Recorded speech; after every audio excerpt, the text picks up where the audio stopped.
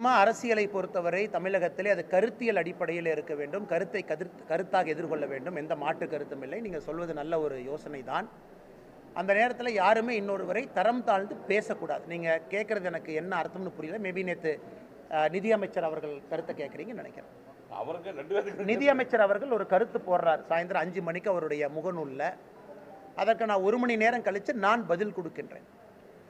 அவர் போடுகின்ற கருத்து நீங்கள் படித்து பாருங்கள் ஒரு மாநிலத்தினுடைய நிதியமைச்சர் போடுகின்ற கருத்துக்கு சமமாக அதற்குத்தான் நான் சொல்லியிருந்தேன் இந்த மதுரை இந்த சம்பவத்தில் பாரதிய ஜனதா கட்சி தலைவர் திரு அண்ணாமலை அவர்கள்தான் இந்த செருப்பு வீசுறக்கே காரணம்னு சொல்லியிருக்கார். நான் சொன்னேன் அப்படி செருப்பு வீசுகிற காரணமாக இருந்தால் அந்த செருப்பு கூட ஒரு தரம் இருக்குது அந்த தரத்து கூட நீங்கள் ஈடாக மாட்டீர்கள் என்று சொல்லியிருந்தேன். நான் சொன்னதில் எந்த விதமான தவறும் கிடையாது. காரணம் மிஸ்டர் பிடிஆர் என்ற மரியாதை கொடுத்திருந்தேன். அவர் வந்து எப்பொழுதுமே தாத்தா தன்னுடைய தந்தையார் அடையாளத்தை வைத்து அரசியல் செய்கின்றார். அதை பற்றி தான் அதிகமாக பேசுகிறாரு அதனால் இனிஷியல் எடுத்துட்டால் நீங்கள் என்ன ஆவீங்கன்னு கேட்டிருந்தேன். நான் கேட்டதில் எந்த விதமான தவறும் கிடையாது. மிக மரியாதையாக பதில் சொல்லியிருந்தேன். கருத்தியலை கருத்தியல் அடிப்படையாக. அதாவது எக்கானமி பற்றி அவர் ஒரு டிபேட் வைக்கிறாரு. நேற்று நாங்கள் சொல்லியிருந்தோம். தமிழ்நாடு மட்டும் ஐம்பத்தி இரண்டு சதவீதம் வளரவில்லை. மகாராஷ்டிரா அறுபத்தி எட்டு சதவீதம் வளர்ந்திருக்கிறது. கேரளா அறுபத்தி எட்டு சதவீதம் வளர்ந்திருக்கிறது. குஜராத் ஐம்பது சதவீதம் வளர்ந்திருக்கிறது. முதல் குவார்ட்டரில் தமிழ்நாட்டை விட உத்தரப்பிரதேசனுடைய நிகர வருமானம் அதிகமாக இருக்கிறது. இதுக்கு பதில் சொல்லணும். திராவிட மாடல் என்று சொல்லுகின்றார்கள். யூபி பின்தங்கிய மாநிலம் என்று சொல்லுகின்றார்கள். இதற்கு பதில் சொல்லணும். இத்தனை காலமாக இருந்தால் கூட யூபி சரியில்லைன்னு நீங்கள் ஆர்கியூ பண்ணுறீங்க அப்படி இருக்கும் பொழுது யூபியினுடைய நிகர வருமானம் கவர்மெண்ட்டினுடைய ஓன் ரெவென்யூ வருமானம் எப்படி தமிழகத்தோட அதிகமாக இருந்துச்சு? இதெல்லாம் நம்ம ஆரோக்கியமாக டிஸ்கஸ் பண்ணலாம் டிபேட் பண்ணலாம். திராவிட மாடல் என்பது ஒரு நல்ல மாடலான்னு பேசலாம். திராவிட மாடல் என்பது இருக்குதான். அதற்கு நாங்கள் தயாராக இருக்கின்றோம்.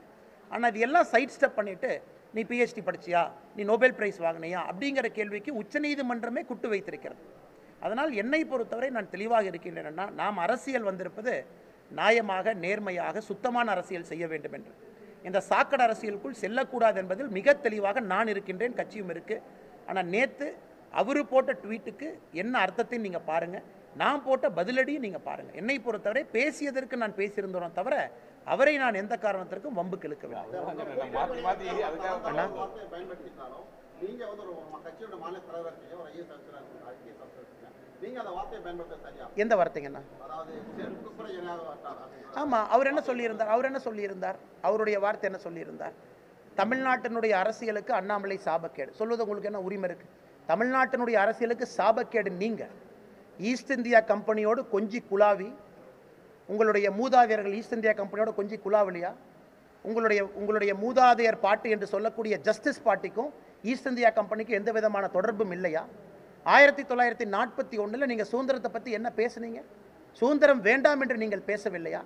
அந்த கட்சியினுடைய வழித்தோன்றலாக வந்து அமர்ந்து விட்டு என்னை பார்த்து அந்த வார்த்தையை பயன்படுத்துவதற்கு உங்களுக்கு என்ன அருகதை இருக்குது அது திமுகவில் யாருக்கும் அந்த அருகதை கிடையாது. உங்களுக்கும் ஈஸ்ட் இந்தியா கம்பெனிக்கும் இருக்கக்கூடிய தொடர்பு தமிழக மக்களுக்கே தெரியும். ஜஸ்டிஸ் கட்சி ஆரம்பித்ததுலேருந்து திராவிடர் கழகத்திலிருந்து ஈஸ்ட் இந்தியா கம்பெனி கூட எந்த விதமான ரிலேஷன்ஷிப் நீங்கள் வச்சுக்கலையா? ஏன்னா அப்போ வந்து பிரிட்டிஷ் எம்பையராக மாறி இருக்கலாம். ஐயோ தமிழ்நாட்டுக்கு சுதந்திரம் கொடுத்துறாதீங்க இந்தியாவுக்கு சுதந்திரம் கொடுத்துறாதீங்க. எங்களால் ஒரு குண்டூசி கூட செய்ய முடியாது. அப்படியே சுதந்திரம் கொடுத்தீங்கன்னா இங்கிலாந்துலேருந்து தமிழ்நாட்டை ஆளுங்க அப்படின்னு உங்கள் தலைவர்கள் சொல்லவில்லையா? வெட்கம் மானம் சூடு சொரணை இல்லாமல் பழைய சரித்திரத்தை மறைத்துவிட்டு ஏதோ இவர்கள் இந்தியாவிற்கு போராடியவர்கள் போல் இரண்டாயிரத்தி இருபத்தி ரெண்டில் காட்டும் பொழுது பதிலடி கொடுக்க வேண்டியது எங்களுடைய கடமை. இல்ல நாங்க கேட்கறது அப்படிங்கிறது ஒரு மேடையில பயன்படுத்தக்கூடிய வார்த்தை தான் ஆனா நீங்க ஒரு ஐபிஎஸ் ஆபீசர் ஒரு மாநில கட்சி முன்னாள் மாநில தலைவர் நீங்க போய் இந்த வார்த்தையை பயன்படுத்தலாமா செருப்பு அப்படிங்கிறது ஒரு தரம் தாழ்ந்த வார்த்தை தான். அதுதான் அவரும் கேட்கறாங்க நாங்க என்ன எல்லா கட்சிக்காரங்களும் தான் சொல்றேன் ஏன்னா இப்போ வந்து புதிய த நிறைய பேர் மாறிட்டு வர்றாங்க. ஒரு அஹ், படிச்சவங்க நீங்களாம் அரசியலுக்கு வரும்பொழுது அடுத்த தலைமுறை என்னடா மறுபடியும் மீண்டும் மீண்டும் பழத்தை இவங்களே இப்படியே பேசிட்டு இருக்காங்களா? அப்படின்னு ஒரு தாக்கத்தை ஏற்படுத்தாதான். இல்ல, எல்லா இல்ல, இல்ல, நீங்க கட்சிக்காரங்களும் நீங்க கேட்கறது பொதுவான கேள்விதானா. நீங்க யாரும் தனிப்பட்ட முறையில் கேட்கல நான் ஏத்துக்கிறேன். பொதுவான கேள்வி தான் கேட்குறீங்க இந்த விஷயத்தை பொறுத்தவரை திமுக அதனுடைய பழைய அரசியல் பாணியிலிருந்து வெளியே வர வேண்டும். இந்த மிரட்டிடலாம் உருட்டிடலாம் இந்த பையன் வந்து கிராமத்திலேருந்து வந்திருக்கான். சாதாரண பையன். எங்கிட்ட பெரிய பவர் இருக்குது இந்த மாதிரி மிரட்டி பார்த்தாங்கன்னா என் பதில் அப்படி தானே இருக்கும். இதையெல்லாம் மிரட்டி பார்க்குறதுக்குலாம் நாங்கள் வரல. நாளைக்கு காலையில் துண்டு போட்டுட்டு நான் என்னுடைய விவசாய தோட்டத்தில் போய் விவசாயம் செய்வேன் பொழைச்சிக்குவேன். உங்களால் முடியுமா? பிடிஆர்னால் முடியுமா? முதலமைச்சரால் முடியுமா? நான் ஏதோ விதண்டாவாதத்துக்காக பேசல. எனக்கு அந்த துணிவருக்கு தைரியம் இருக்குது நான் காலையில் நான் காலையில் கட்டில் போய் காட்டில் போய் படுத்தனால தூங்க முடியும். நீங்கள் ஏசி ஆஃப் பண்ணிவிட்டு உங்கள் பஜ்ரோவிலேருந்து ஃபார்ச்சுனர்லேருந்து ரேஞ்ச் ரோவர்லேருந்து கிராமத்துக்கு வாங்க பார்க்கலாம். உங்களால் முடியாது. யாரோ ஒருத்தன் இத்தனை பேர் அரசியல் இருக்காங்க. எந்த கட்சியாவது முதல் தலைமுறை பட்டதாரிக்கு நீங்கள் இவ்வளவு சமூக நீதி பேசுகிறீங்க முதல் தலைமுறை பட்டதாரி எத்தனை பேர் திமுகவில் வந்திருக்காங்க அரசியல்வாதிகளும் எத்தனை பேர் வந்திருக்காங்க அதில் யாராச்சும் தலையெடுத்து வந்தால் அபா தகாத வார்த்தையில் பேசுவீங்க ஆபாசம் காட்டுவீங்க திட்டுவீங்க ஐடிவிங்க வச்சு பேசுவீங்க. இதெல்லாம் கேட்டுக்கிட்டு நான் ஜீசஸ் கிரைஸ்ட் கிடையாது. ஒரு கன்னத்தில் அடித்தா இன்னொரு கன்னத்தை காட்டிட்டு போகிறக்கு நான் இயேசு கிடையாது. அடிச்சிங்கன்னா திரும்பி அடிப்பேன். அக்ரஷனாக இருந்தால் டபுள் அக்ரஷனில் வருவேன். இதனால் நான் எதை இழந்தாலும் அதை பற்றி கவலை போகிறது கிடையாது. ஏன்னா எனக்கு என்னுடைய விவசாயமும் மாடும் தோட்டமும் இருக்குது. நான் தெளிவாக சொல்கிறேங்கண்ணா மரியாதையாக அரசியல் திமுக செஞ்சால் மரியாதை இரட்டிப்பாக நான் கொடுப்பேன்.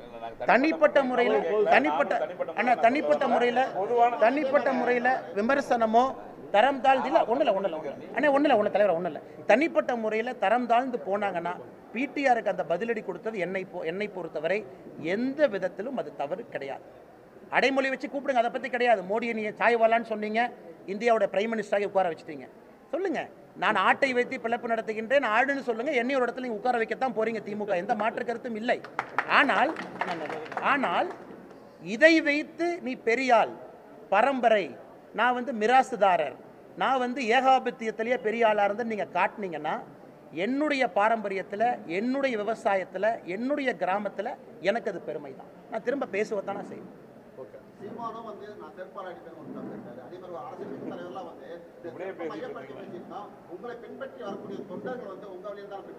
அண்ணா சீமான் அண்ணன் பேசுனதுக்கும் நான் பேசுனதுக்கும் வித்தியாசம் இருக்கு. பிடிஆர் அவர்கள் எனக்கு ஒரு கேள்வி கேட்டிருந்தாங்க அதற்கு பதிலடியாக நான் பதில் சொல்லியிருந்தோனோ தவிர நான் மேடையில் நானாக செருப்பை எடுக்கவில்லை. பிடிஆர் அவர்களுடைய ட்வீட்டை நீங்கள் முதல்ல படிங்கண்ணா. படிக்கிறக்கான எனக்கு ஆப்பர்ச்சுனிட்டி இருந்துச்சான்னு தெரியல. அவருடைய ட்வீட்டை நீங்கள் படிங்க. செருப்பை பற்றி என்னை பற்றி என்ன பேசியிருந்தார்? அதற்கு கூட நான் பதிலடி சொல்லினா நான்லாம் தன்மானம் இருக்கக்கூடிய அரசியல்வாதி. எதையும் விற்று பொழைச்சி ஒருத்தர் கை கால் உட்காந்து இந்த பதவி வாங்கிலாம் வரல. பதவி கொடுத்துருக்காங்க அப்படி தான் வேலை செய்வணும் இதை கட்டி பிடிச்சி தான் அந்த பதவியில் இருக்குன்னு அந்த பதவியில் உட்கார்றதுக்கு எனக்கு ஆசையெல்லாம் கிடையாது. இதை விட முக்கியமான பல வேலைகள் எனக்கு தமிழ்நாட்டில் இருக்குது மக்கள்கிட்ட இருக்குது அதனால் அண்டி பிழைத்து ஒருத்தரை ஒட்டி பிழைத்து இப்படி தான் இருக்க வேண்டும் என்கின்ற அவசியம் அண்ணாமலைக்கு கிடையாது. அது பாரதிய ஜனதா கட்சியினுடைய தொண்டனாக இருப்பது எனக்கு மிகப்பெரிய கௌரவம்.